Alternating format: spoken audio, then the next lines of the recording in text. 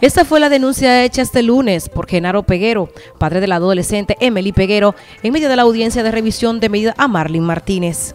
Asegura temer por su vida y no descarta la posibilidad de querellarse ante la Fiscalía de Duarte.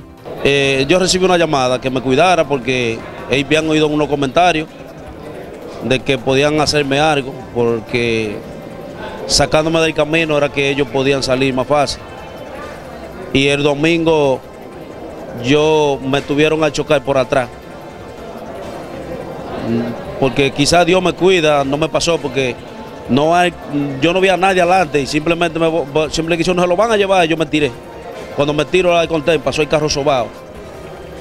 Pero yo no le di tanta importancia porque no sabía, porque tengo esa precaución, porque la de, eh, la de miércoles sí, porque la de miércoles fue de frente. Y ahí iba paso tres pasos para arriba de mí, hay pasito y pasito y pasito.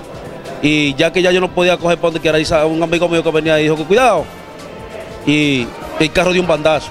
Eh, a las autoridades también al pueblo dominicano, que estemos pendientes de todo lo que ellos quieran hacer, porque ellos a través de esto quieren hacer las cosas como, como, como seguir burlándose de la autoridad y seguir burlándose de la familia.